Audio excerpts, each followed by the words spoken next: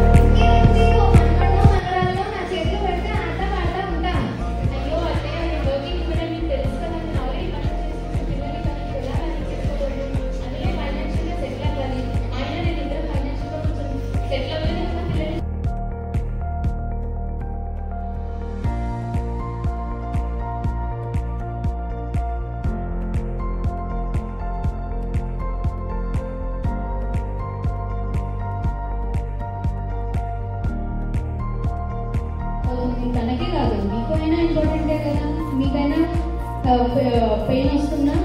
Problem అవుతుంది కదా? అలా కావద్దంటే మీరు రెగ్యులర్గా పంప్ చేసుకుంటేనే కదా?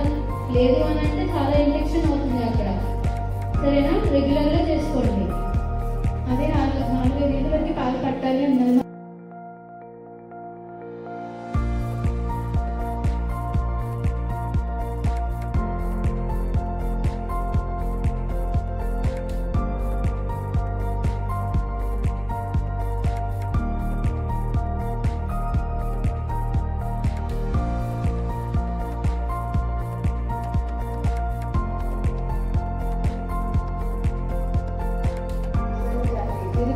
Fraternity of uh, Medical College and Hospital.